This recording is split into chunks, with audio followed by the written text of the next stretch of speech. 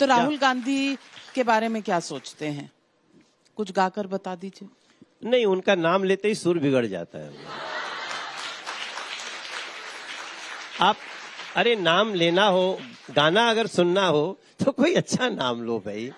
जो लोग अच्छी बात करते हो जब नाम ही लेते ना सुर इधर उधर सब गड़बड़ चला गया। क्यों? सा ही नहीं मिल रहा है मेरा।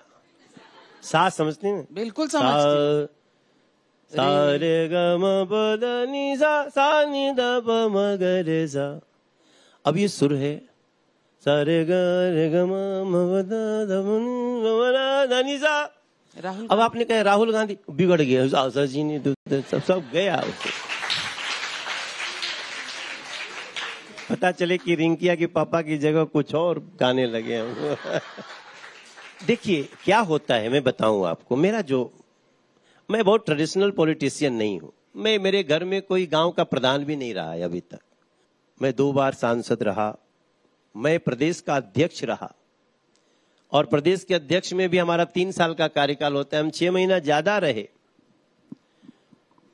और आम आदमी पार्टी तब सत्तर में सड़सठ सीट जीत के आई थी जब मुझे अध्यक्ष बनाया गया।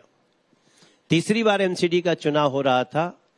कोई नहीं बोल रहा था कि बीजेपी जीतेगी।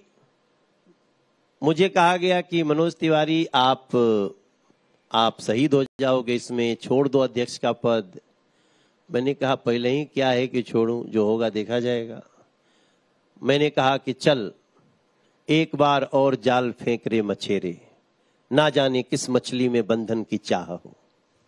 मैंने पूरे मन से चुनाव लड़ा। और बहुत सारी मछलियाँ आ गई। नहीं मछलियाँ मैं ये पर ये तो पुरानी बात हो गई। नई बात में राहुल गांधी कहते हैं अब की बार 400 पार तो नहीं 150 पर रुक जाएगी बीजेपी। क्या सुर इसलिए आपका बिगड़ जाता है? नहीं नहीं नहीं नहीं। राहुल गांधी जी ही 400 पार करा रहे हैं।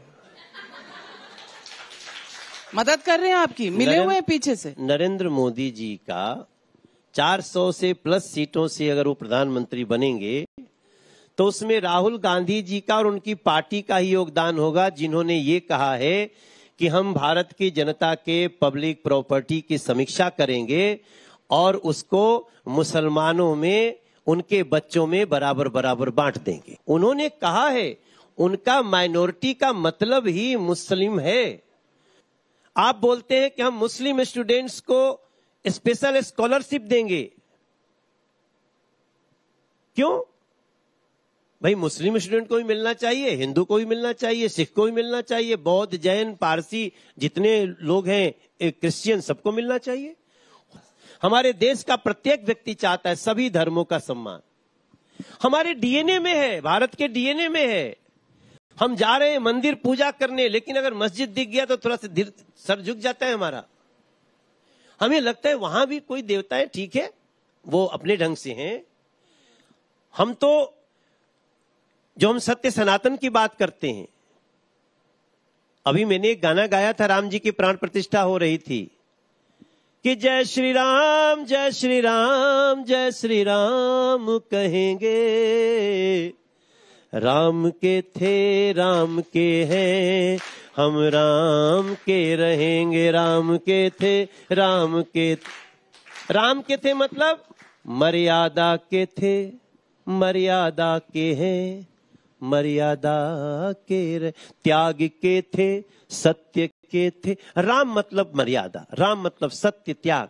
और उसमें हमारा धर्म कहता है कि रेस्पेक्ट एवरी रिलीजन तो फिर रिस्पेक्ट कहाँ है जब आप ओपनली हिंदू मुस्लिम कह रहे हैं मुसलमान को घुसपैठिया कह रहे हैं ये सवाल विपक्ष ना, उठाती ना, है नो। हाँ, ये ये सवाल विपक्ष उठाती है कि अगर आपको 400 पार होना ही है हाँ। आप जीत ही रहे हैं जी। तो हिंदू मुसलमान पर क्यों आ रहे हैं हम कभी नहीं करते ले नहीं नहीं हमारे तो देखिए भारत